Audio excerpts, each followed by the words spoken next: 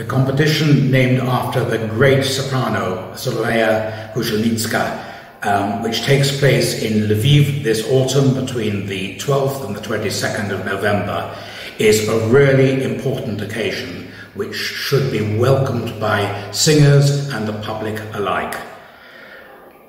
I have visited her home in Lviv, and it is a wonderful memorial to a great Ukrainian singer who was Puccini's favorite Cho-Cho-San in Madame Butterfly.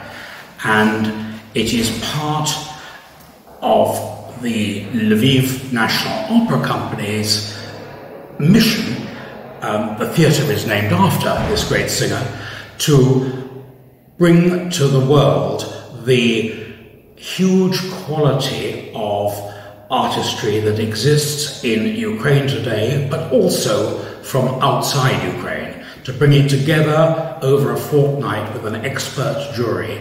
Um, it is an occasion that we all very much look forward to.